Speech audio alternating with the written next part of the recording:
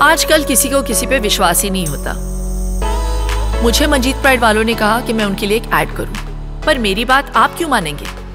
इसीलिए मैं नहीं बोलूँगी। मैं नहीं बोलूँगी कि संभाजी नगर की हिस्ट्री का बहुत बड़ा प्रोजेक्ट लॉन्च होने वाला है। मैं ये भी नहीं बोलूँगी कि 21 लाख स्क्वायर फीट एरिया में 21 फ्लोर्स के 21 टावर्स में आपका घर होना चाहिए। मैं ये भी नहीं बोलूँगी कि नदी किनारे आपका घर हो सकता है। मुझे तो ये भी नहीं बोलना चाहिए कि संभाजी नगर के बीचों बीच लोकेटेड वन वर्ल्ड खुद एक लैंडमार्क होने वाला है। मैं ये भी नहीं बोलूँगी कि swimming pool gym club house green landscape जैसी इम्यूनिटीज से आपको क्या फ़ायदे होंगे। जब संभाजी नगर के प्रोग्रेस के साथ बढ़ते हुए आप अपना लिविंग स्टैंडर्ड बढ़ाएँगे ही नहीं तो मेरे बोलने ना बोलने से क्या फ़ायदा?